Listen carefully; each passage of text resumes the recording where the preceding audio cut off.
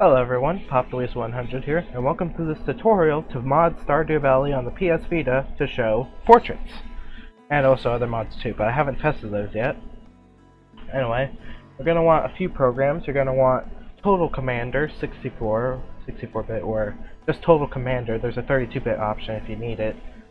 And pretty much, you're going to want to install it. I've already installed it here, but you're just going to want to install it. Doesn't matter where, and doesn't matter what, but it's what you're going to use to mod Stardew Valley. You also want to get the MaiDump of Stardew Valley, because that is how you're going to mod the game.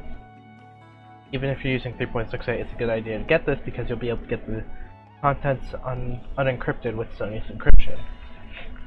Now the main problem with this is that these folders right here don't actually have anything in them, they're just folders. They literally don't use anything, so I would not recommend just putting your portraits in here and then try and get that to work. So instead, I recommend you go into con you copy this content file,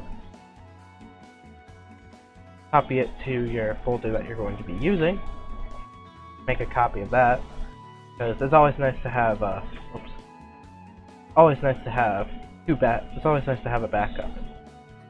So anyway, so after you got Total Commander installed in your content, you're going to want to download this file, which is a PSARC, or PSARC as I call it, plugin for Total Commander, so you can open these files and mod them.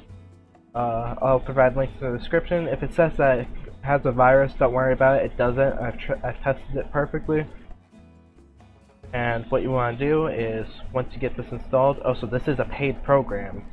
So this is a demo version, but you must register it after a month. So think really hard about the mods you want, and if you want them, make sure to add them to a list, and then once you got all of them, you want to actually install them.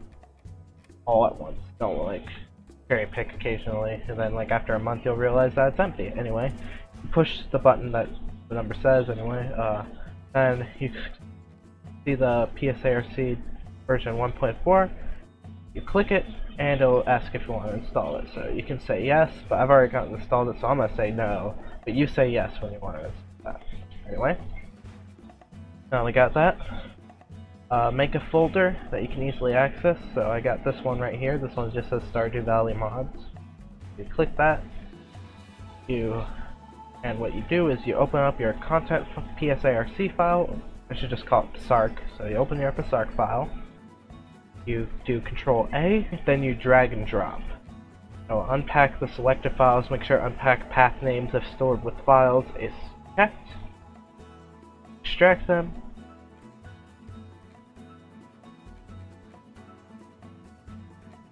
And after a little bit, all the files will be extracted and you will be able to start modding them. Now I got these files extracted, let's go ahead and mod one. So let's go ahead and to open up this mod that I have for WinRAR, which is Rico's Portraits version 3.3. One mods literally every portrait in the game. And this one, you select portraits, and you copy over from from Total Commander. Don't just do it in regular select portraits, do control A, and then copy, or,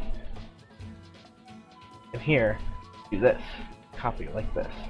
Copy, and then choose overwrite all. Should overwrite all the portraits, it will be good. So compare, and the names off.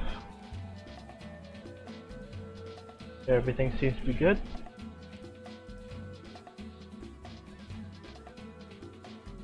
Yep, everything's good. Alright. Once you're done with that, you're gonna want to, once you're done installing all your mods, you're gonna want to pack. Choose pack, and you will have to choose an option. So what you'll want to do, first of all, make sure your Stardew Valley mods folder is selected, choose pack, Valley modding started. Make sure this is checked, and these two you don't have to worry about.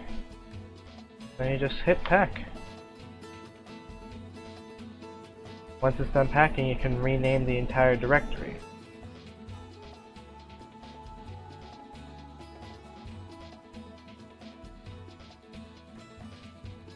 Once it's done packing, you can rename the PSA. You can rename the SARC file, the content, and then you replace. Right, so that's done. This one. There we go, anyway. We're gonna delete the pack, the SARC file here, and then we rename, I go here, rename this to content. Then, open up my in a new window, content, move to content, and if you replace the portraits like me, the file size should be smaller. be around this size. Once you're done with that, you just install the game. Using MaiDump. Don't know how to use MaiDump? Look other look up other tutorials. I can't really help you there. So pretty much that's how you install mods for Stardew Valley on the Vita. Most PC mods should work, but I haven't tested them completely. If one doesn't work, then it probably just won't work ever, and you're gonna have to deal with it. Unless people make mods for the Vita version.